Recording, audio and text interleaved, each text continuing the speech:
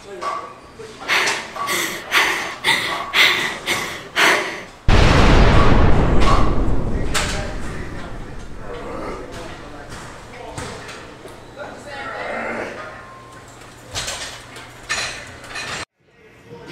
keep pushing because it became part of who I am.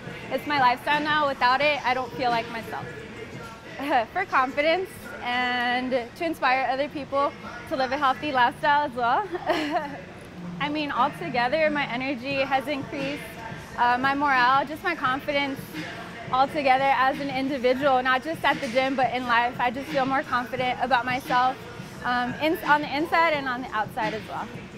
Uh, just the various workouts, like I've never done the same workout twice. It's always been something different, targeting different muscles, different movements, um, just growth altogether. Like I just feel like I grow as a person um, and my strength as well.